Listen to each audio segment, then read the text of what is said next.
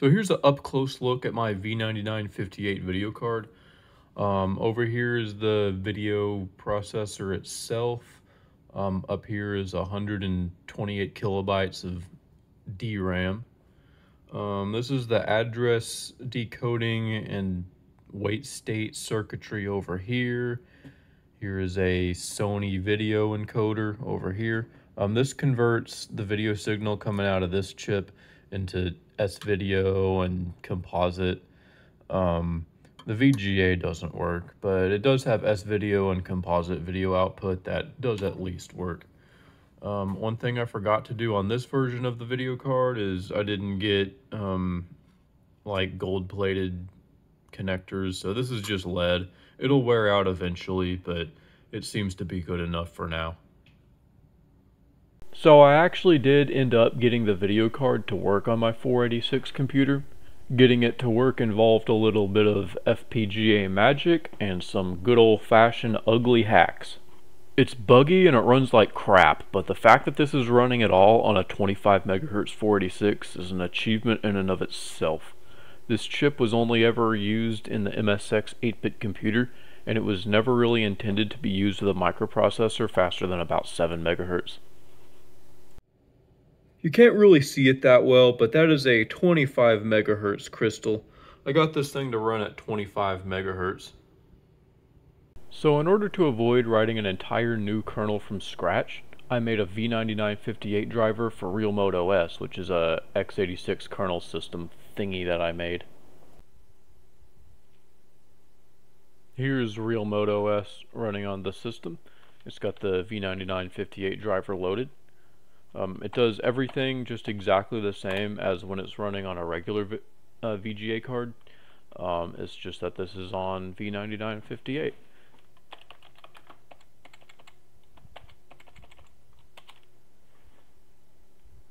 It's pretty slow.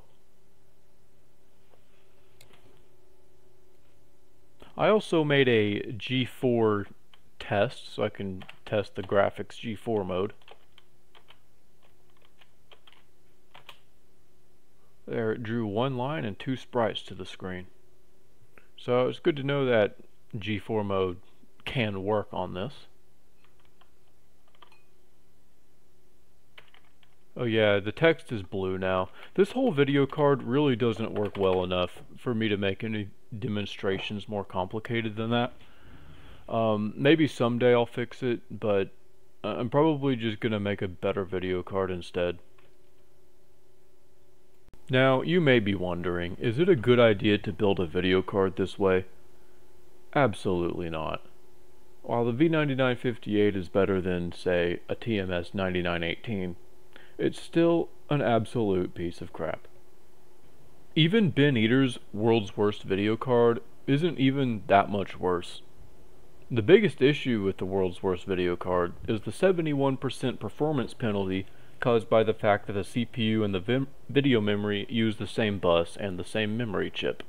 It's not that hard to come up with ways of getting around this issue, especially if you're using an FPGA. Even the 100 pixel by 75 pixel screen resolution can be improved with some basic math and a different oscillator. Meanwhile, there's absolutely nothing you can do about the annoying aspects of the V9958 or really any retro 8-bit era video chip.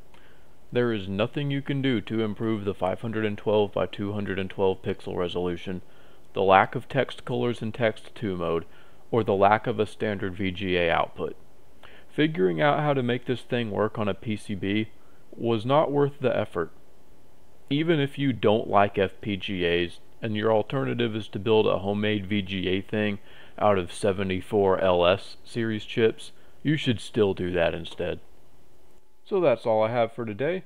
If you would like to help support future development, consider buying me a coffee. The link is in the description. Thanks for watching. Bye.